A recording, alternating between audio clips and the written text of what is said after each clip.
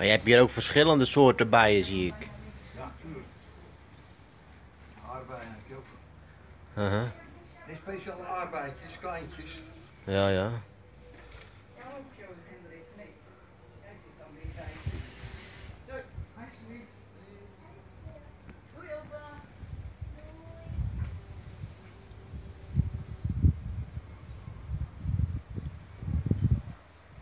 Ah, hier eigenlijk behoorlijk wat bloemetjes.